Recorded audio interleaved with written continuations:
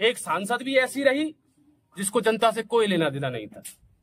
कांग्रेस का प्रत्याशी भी ऐसा आया जिसने मैंडेट भी लेने के बाद जनता से उसको कोई लेना देना नहीं है। यानी एक अंधा है और एक काना है। बसपा में हुई कांग्रेस नेता की घर वापसी। इस सीट से होगी मज़बूत दावेदारी। जी हाँ दोस्तों, आपने बिल्कुल सही सुना। मैं ऊपर परागमंत्र आप देख रहे हैं नेशनल चौपाल। जैसे जैसे चुनाव नज़दीक आ रहा है, राजनीतिक पार्टियों में नेताओं की जो उठापटक देखी जा रही है, ऐसे में अगर बात करेंगे भारतीय जनता पार्टी की, कांग्रेस की और इसके साथ साथ बहुजन समाज पार्टी की तो प्रत्याशियों के नामों और उनके आवंटन को लेकर जिस तरीके से सुर्खियाँ तेज हो चुकी है, और कल एक वीडियो तस्वीर सोशल मीडिया पर बड़ी जमकर वायरल हुई है, जहाँ पर बता दे कि कांग्रेस के जो भिंड दतिया लोकसभा क्षेत्र के जो प्रत्याशी रहे, देवाशीष जरारिया, इन्होंने बड़े मजबूती से 2019 का चुनाव लड़ा, लेकिन देखा यह गया कि उनको एक बड़े हार का सामना करना पड़ा। भिंड और दतिया लोकसभा सीट लगातार भारतीय जनता पार्टी के पाले में जाते हुए नज़र आती है और ऐसे में जिस तरीके से देवाशीष जरारिया ये बहुजन समाज पार्टी से पहले ताल्लुकात रखते थे लेकिन 2019 के चुनाव नज़दीक आने के बाद में उन्होंने बहुजन समाज पार्टी को छोड़कर कहीं ना कहीं बता दे कि कांग्रेस का दामन थाम लिया था। और उसके बाद में उन्होंने कांग्रेस से भिंड दतिया लोकसभा क्षेत्र से चुनाव भी लड़ा। लेकिन इस चुनाव के बाद उनको हार का सामना करना पड़ा। उम्मीद उनकी ये थी कि आने वाले मतलब कि 2024 के चुनाव में कांग्रेस के तरफ़ से उनको फिर एक बार प्रत्याशी बनाया जाएगा। लेकिन इस बार कांग्रेस ने पूरी तरीके से एक बड़ा वार किया है और सीधा सीधा देवासी जरारिया इनके टिकट को काटने का काम किया गया।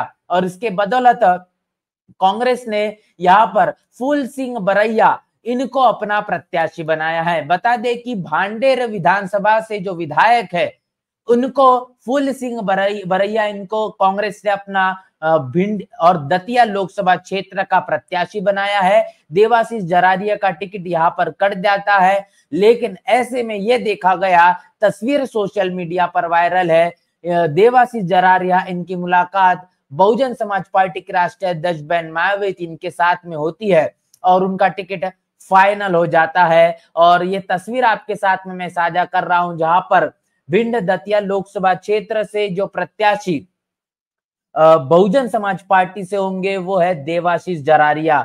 इसके साथ साथ ये तस्वीर आप देखिए, सोशल मीडिया पर बड़े ही जमकर ये तस्वीर वायरल हुई। देवाशीष जरारिया इनको बहन मायावती के ज़रिए आशीर्वाद मिल चुका है और ये अब बसपा के तरफ़ से लोकसभा प्रत्याशी तौर पर मज़बूत दावेदारी रखेंगे।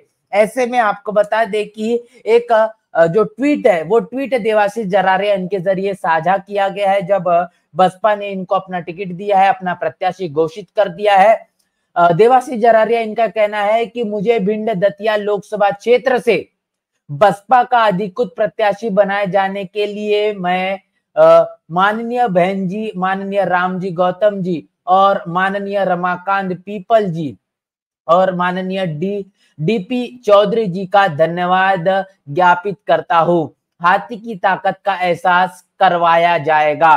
तो यहाँ पर देवासी जरारिया ने बताया है कि किस तरीके से उनको ये टिकट का आवंटन किया गया। इसके साथ साथ और एक ट्वीट है, उन्होंने वहाँ पर कहा है कि जिस तरीके से कितना भी धोखाधड़ी हो जाए, कितना भी छल कपट हो जाए, लेकिन आखिरकार अगर साथ कोई देता है तो वो अपने ही साथ देते हैं और ये तस्वीर साझा करते उन्होंने कहा है कि जिस तरीके से बड़ी उम्मीद के साथ वो कांग्रेस के साथ लगातार बरकरार थे, गाँवों, कस्बों और इलाकों में जाकर अपने लोकसभा क्षेत्र में वो कांग्रेस की विचारधारा को और कांग्रेस के माध्यम से लोगों को जोड़ने का काम कर रहे थे। लेकिन एन वक्त पर, जहाँ पर वो चाहते थे कि भिंड और दतिया लोकसभा क्षेत्र से कांग्रेस उनका अपना प्रत्याशी बनाए एन मौके पर ही उनका टिकट काट दिया जाता है। हाईलाइट किया, छापा, और इससे मुझे आप, मैं सब पहले आप लोगों को कृतज्ञता, धन्यवाद ज्ञापित करता हूँ कि जिस दल में मैं था उसने तो मेरी मेहनत को और मेरे संघर्ष को कभी नहीं समझा, लेकिन भिंड के पत्रकार बंधुओं ने पाँच साल जो संघर्ष, क्योंकि आप ही लोग और सभी लोग कहते थे कि हमने पहला कोई प्रत्याशी ऐसा देखा जो हारने के बाद पाँच साल निरंतर संघर्ष करता रहा। लोकसभा का प्रत्याशी विधानसभाओं में नहीं पहुँच पाता, ब्लॉकों में नहीं पहुँच पाता। और इस बार एक ऐसा व्यक्ति था जो प्रत्याशी था, जो कि हारने के बाद गाँव ब्लॉक छोड़ो विधानसभा छोड़ो, गाँव, कूचे, गली, मोहल्ले तक पहुँच गया। और मेरे संघर्ष को देखते हुए मान्य बहन जी ने मुझे बुलाया, पार्टी ज्वाइन कराई और मुझे टिकट दिया। भिंड दतिया क्षेत्र में ये दुर्भाग्य है कि एक ऐसी सांसद को चुना जो पाँच साल क्षेत्र में लौट कर ही नहीं आई, उसको टिकट दे दिया। और फिर दूसरा, एक ऐसे व्यक्ति को टिकट दे दिया, जो कि बड़ी मुश्किल से 25 साल बाद चुनकर भांडेर से लेकिन इतने अति महत्वाकांक्षी हैं कि चुनाव जीतने के बाद 25 साल बाद जनता ने उनको आशीर्वाद दिया। तो अपने आप को साबित करते, जनता के काम करते। जिन मुद्दों को लेकर वहाँ चुनाव लड़े और इस विपरीत लहर में, भाजपा की लहर में भी उनको जनता ने उन पर विश्वास जताया जनता ने उन पर विश्वास जताया और उस जनता के विश्वास को पूरा करते उसकी जगह वो व्यक्ति क्षेत्र में नहीं गया, भांडेर के लोगों को असहाय छोड़कर अब यहाँ आ गए चुनाव लड़ने के लिए पुनः। भांडेर की जनता आज कह रही है कि यार हमारा विधायक कैसा नहीं चुना हमने हमने सोचा हमारा काम करेगा वहाँ कोई मतलब ही नहीं हमसे।